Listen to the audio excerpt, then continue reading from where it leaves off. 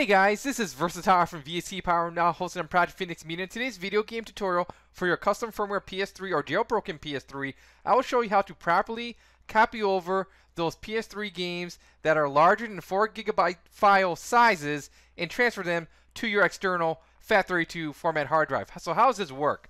So in today's example, we're going to use a program, it's called Split4G, and we're also going to use another example game called God of War Ascension. And basically, this game has one particular game file that is like over 9 gigabytes. And on a FAT32 system, it does not allow you to copy over that kind of file. And I'm trying to find that file right here real quickly here. And it's like right here, this PSARC file, 9 gigabytes. Not good. So what we're going to do is using the Split4G program and using your FAT32 format external hard drive, we're going to copy over the file. So how does this work? So go to the more info section. There's a link to download the Split4G program. Go ahead, download, extract it, and run the executable. Now, it's going to ask you for the source game folder. The easiest way is I just click in here, just find it. So I'm going to go to temp here. Here's the game. Click OK. So that's the, the root. Destination game folder. So let's go ahead to my external hard drive. It's going to be um, down here. And it's going to be right here. And there's a folder called games. Double click on that click OK. Here you want to say the file name is this .666 pound pound sign, and then click on Start. And then it's going to say source folder contains one big file. That's correct. Click OK. Now it's going to go ahead and, and it's going to go going to do the process of copying the files over and splitting them accordingly for your external hard drive. Once this whole process is done, 30 minutes or however, however long it's going to take, once that process is done, then you go to your PS3, load up Multiman, insert your external USB hard drive. Multiman will say, oh, this game is a split game. Do you want to copy it to the internal hard drive? And there you want to say yes. It will copy those files over to your internal hard drive. It will merge them, and then your CFW PS3 will play them fine. So with that said, let's jump straight into the next portion of this gameplay footage tutorial and show you how that process works. Let's do this. Okay, in this next portion of the game tutorial, I'm going to show you how to take your split game that's currently on your external hard drive. So here's my one terabyte external hard drive connected to my CFW, CFW Fat PS3. And we're going to go to the game section and go into Multiman. And using the Multiman program, I'll show you how to transfer that program and install it properly to your internal hard drive.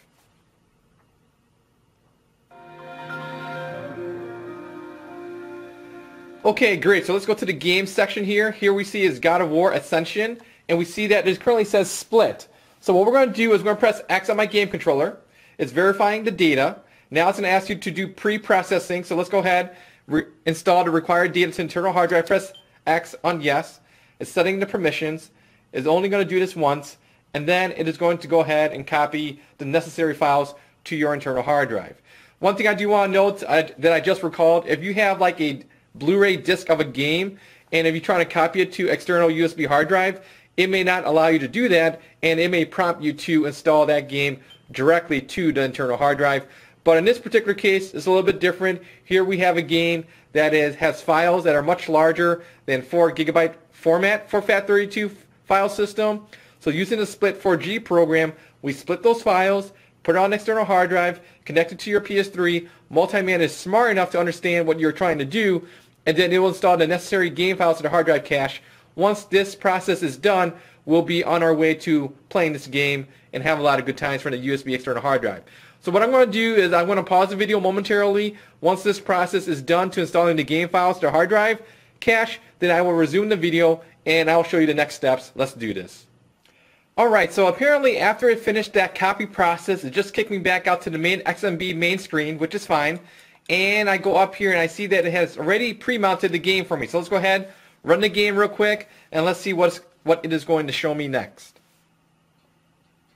Okay, so there's the latest game updates. We gotta go ahead and download the game update. For sake of time, what I will do is I will edit the video footage just to skip ahead a little bit, and then we'll get to the next part of this uh, video and see how well the game works uh, off the internal slash external hard drive system.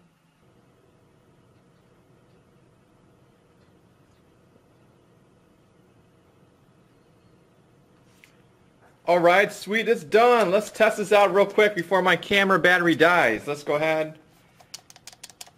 See if I can skip the movies. Maybe, maybe not. Wow, there's a lot of preloading here.